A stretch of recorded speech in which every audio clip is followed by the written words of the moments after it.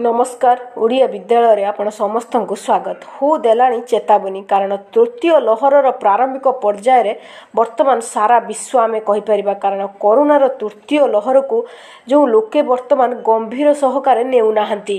Mask ବି ପିନ୍ଧୁନାହାନ୍ତି। Corona ନିୟମାବଳୀର ବ୍ୟାପକ ଉଲ୍ଲଂଘନ ହେଉଥିଲା ବେଳେ ଏନେଇ ନିକଟରେ କେନ୍ଦ୍ର ସରକାର ଚିନ୍ତା ବ୍ୟକ୍ତ କରିଛନ୍ତି।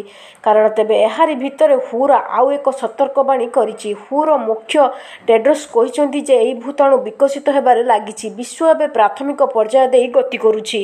ବିଶ୍ୱ ସ୍ୱାସ୍ଥ୍ୟ ସଂଗଠନ ହୁର ମୁଖ୍ୟ ଟେଡ୍ରୋସ୍ ଆଡାନୋମ୍ ଗ୍ୟାବ୍ରେସେସ୍ କୋଭିଡ୍ ନାଇଣ୍ଟିନ୍ର ଡେଲ୍ଟା ଭ୍ୟାରିଏଣ୍ଟର ତୀବ୍ର ବୃଦ୍ଧି ମଧ୍ୟରେ କରୋନା ତୃତୀୟ ତରଙ୍ଗର ପ୍ରାରମ୍ଭିକ ପର୍ଯ୍ୟାୟ ବିଷୟରେ ବିଶ୍ୱକୁ ଚେତାବନୀ ଦେଇଛନ୍ତି। ସେ କହିଛନ୍ତି ଦୁର୍ଭାଗ୍ୟବଶତଃ ଆମେ ବର୍ତ୍ତମାନ ତୃତୀୟ ତରଙ୍ଗର ପ୍ରାରମ୍ଭିକ ପର୍ଯ୍ୟାୟରେ ଅଛୁ। ଯଦି ଲୋକମାନେ ସଚେତନ ନ ହୁଅନ୍ତି ନିଶ୍ଚିତ ଭାବରେ ବହୁତ ବଡ଼ ମାନେ ବିପଦ ଆସିକି ପହଞ୍ଚିବ। କାରଣ ଲୋକମାନେ ବର୍ତ୍ତମାନ କୌଣସି କରୋନା କଟକଣା ମାନିବାକୁ ନାରାଜ। ଯାହା ଯେହେତୁ ସରକାର କହିପାରିବା କିଛିଟା କୋହଳ କରିଛନ୍ତି ତ ଲୋକମାନଙ୍କ ଭଲ ପାଇଁ କିନ୍ତୁ ବର୍ତ୍ତମାନ ଯେଉଁ ସେଇ ଭଲଟା ଆଗକୁ ଆହୁରି ମାନେ କହିପାରିବା ବଡ଼ ବିପଦ ନେଇକି ଆସୁଛି ଯେଉଁଟା ତୃତୀୟ ଲହର ବହୁତ କିଛି କ୍ଷତି ଘଟାଇବ।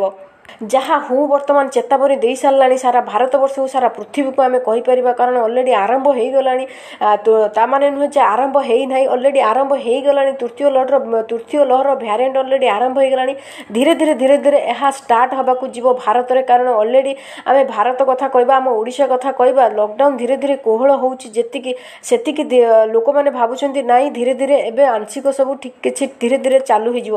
କିନ୍ତୁ ନା ଲୋକଙ୍କ ମନରେ ଏଇ ଭାବନାଟା ନିହାତି ଭୁଲ ଆମେ କହିପାରିବା ସରକାର ଆମ ଭଲ ପାଇଁ ଲକଡାଉନ୍ ଖୋଲିଛନ୍ତି କିନ୍ତୁ ଆମକୁ ସତର୍କ ରହିବାକୁ ପଡ଼ିବ ସାମାଜିକ ଦୂରତା ଅବଲମ୍ବନ କରିବାକୁ ପଡ଼ିବ ତା ସହିତ ମାସ୍କ ମଧ୍ୟ ପିନ୍ଧିବାକୁ ପଡ଼ିବ।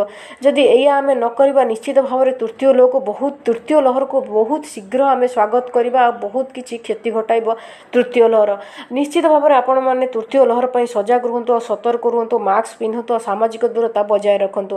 ଆଶା କରୁଛି ଭିଡ଼ିଓଟି ଆପଣମାନଙ୍କୁ କିଛି ଶିଖିବାକୁ ମିଳିଥିବ ଯଦି ମିଳିଥିବ ନିଶ୍ଚିତ ଭାବରେ ଆପଣ ଭିଡ଼ିଓଟିକୁ ସେୟାର କରନ୍ତୁ। ତା ସହିତ ଓଡ଼ିଆ ବିଦ୍ୟାଳୟ ଚ୍ୟାନେଲକୁ ସବସ୍କ୍ରାଇବ୍ ମଧ୍ୟ କରନ୍ତୁ। ରହୁଛି ନମସ୍କାର।